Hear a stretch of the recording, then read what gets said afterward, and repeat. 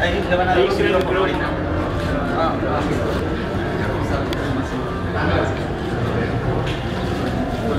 Hola. Hola. Hola, buenas noches. Muchas gracias a los medios por estar aquí. Este, le damos la bienvenida a Manuel Mijares, un ícono de la música mexicana. Estamos muy contentos de que esté aquí en el Festival Internacional Alfonso Ortiz Tirado, cerrando con un gran concierto lo permite, adelante con las preguntas. Gracias, gracias. A ver.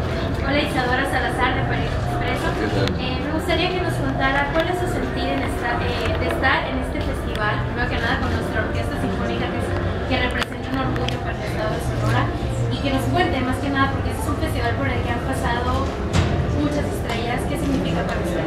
Pues para mí es algo, algo la verdad muy, muy emocionante poder por primera vez estar aquí.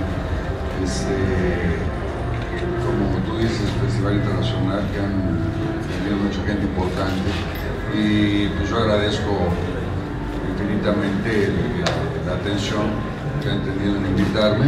Este, estamos dando un eh, concierto sinfónico el año, final del año, eh, no, el año pasado este, sacamos un disco celebrando los 30 años de carrera y, y quisimos hacer- hacerlo sinfónico, ¿no? Lo presentamos allá en, en Bellas Artes, ahí se grabó y de ahí salió el disco. Entonces, eh, pues estamos dando, dando una girita con todo esto y que, pues gracias a Dios ha ido funcionando bien. Ojalá que, que aquí sea lo mismo, ¿no? Que la gente le guste. Gladys Almanza del periódico de Ciudad. ¿Ya había tenido la oportunidad de ver el trabajo de la Filarmónica? Perdón.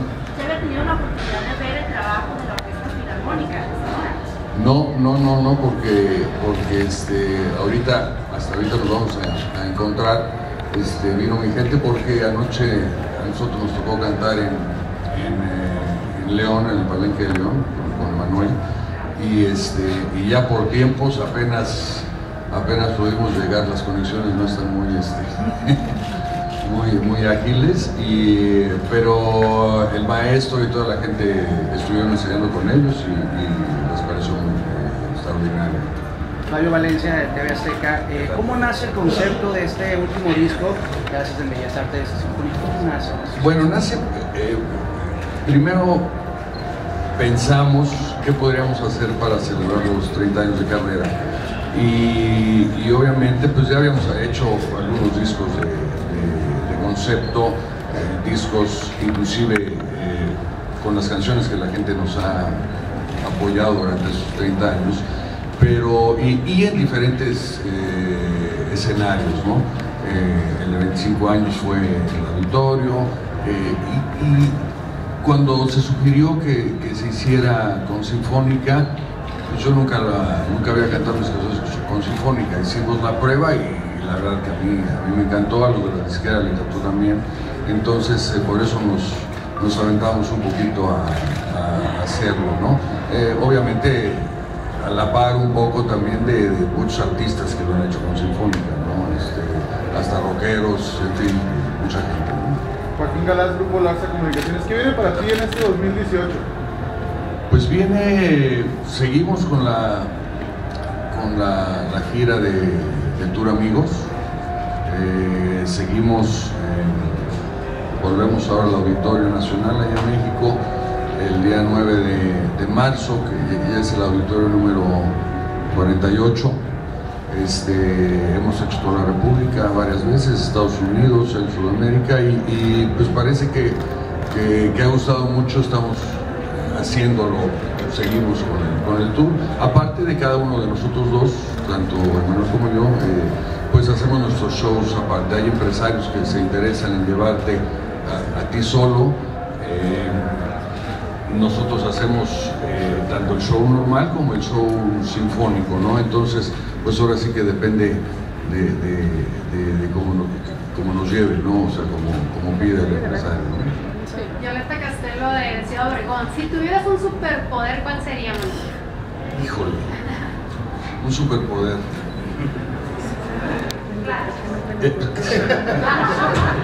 No, ¿sabes qué? Yo creo que poder, poder viajar en el tiempo, este, pero ahora sí que viajar para adelante, para atrás, sobre todo más para atrás, ¿no? Sobre todo por temas históricos, poder estar en, eh,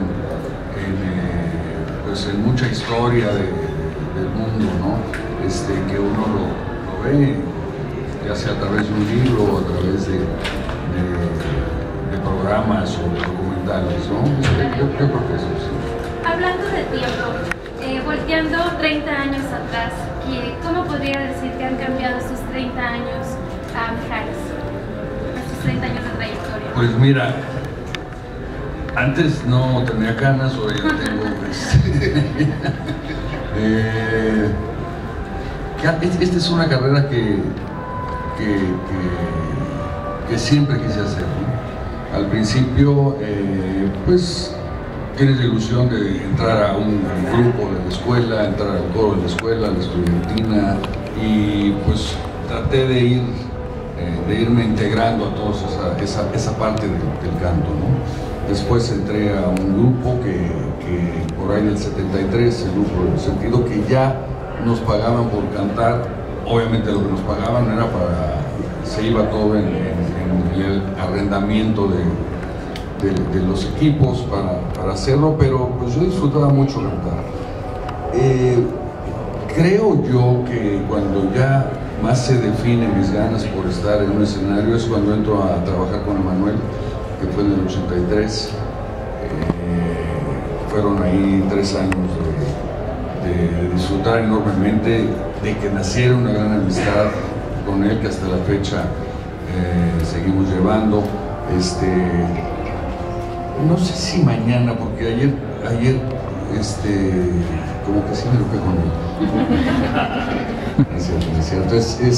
Eh, haciendo un paréntesis, yo creo que, que- el, eh, el que lle- lle- llevemos ya cuatro años y medio de gira, eh, habla de, dos amigos que se suben a un escenario y que así es realmente lo que pasa, ¿no? a, pasarla bien, a divertirnos. No hay, no hay de que quién abre, quién cierra, quién canta mejor, quién, baila mejor. Este, bueno, bailo yo. Pero, este, pero entonces yo creo que desde que estuve con él ya me entró más el gusanito de, de- de estar en un escenario, ¿no? Porque antes eran grupos que cantábamos en bodas, 15 años, graduaciones, todo este tipo de eventos, que, la gente realmente no voltea a ver quién está tocando. Y, aparte no te ayuda a definir un estilo para cantar. O sea, la gente quiere que le cantes una balada como José José, ¿no? que le cantes este, un rock como Enrique Guzmán, por decir. Entonces no defines ahí eh, tanto tu estilo y pasó tiempo para que yo me diera cuenta de eso y que, eh, y que realmente entendiera que las disqueras lo que buscan es un estilo más que tener una buena voz. Entonces, pues mira, han sido 30 años de, de muchas sorpresas. Cada, cada, cada show es una sorpresa, cada disco es una sorpresa, eh, manteniendo siempre el- el, la ilusión y las ganas de que la gente disfrute de lo que estás haciendo, disfrute con una canción, que disfrute con un show, que disfrute con un disco. Entonces, eh, siempre hay algo, hay algo nuevo, ¿no? Y sobre todo, yo creo que es importante el no perder eh, las ganas siempre de, de- de aprender, ¿no? De, de- ir mejorando cada vez más. Mauricio Rábago del proceso. Manuel, eh, por cierto de no perder las ganas de aprender, ¿alguna canción que siempre hayas querido cantar y no has podido, pero que ya pronto? Pues fíjate que he tenido la, la suerte de, de, pues, de cantar muchas canciones, ya son, ya son 28 discos, ¿no? Calcúlale por ahí de 13, 14 canciones por disco. Y, y- por ahí, ¿no? Entonces, este, eh, hay una canción que, tenemos en el show que al rato van a ver. Eh, por ahí de los 80 grabé algo de, Pablo Milanés y Silvio Rodríguez.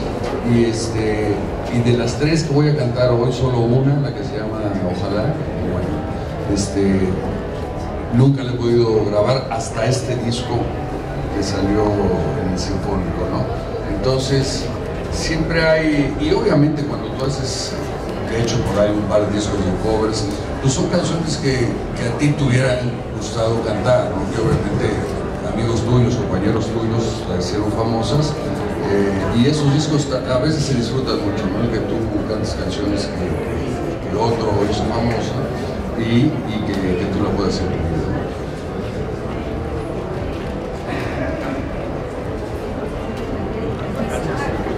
Pues nada más agradecerles a todos ustedes su, atención este, y me voy a cambiar. Para, ¿eh? Gracias a todos. Fuerte abrazo.